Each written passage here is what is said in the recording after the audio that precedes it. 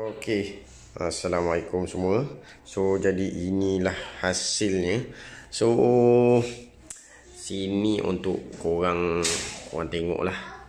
Ha ni hasil dia setelah warna yang dicampur-campur tu okey. Macam inilah hasil yang abang dapat. Memang memang agak cantik ah.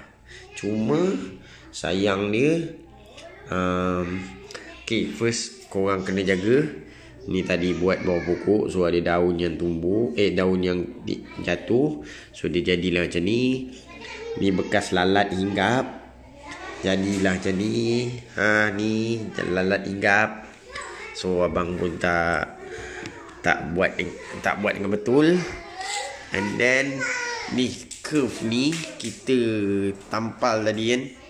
Dia kita dah tampal dah tapi dia bocor sikit lah. Dia ada bocor sikit kat situ So ha, Yang ni ha, ke dia ni?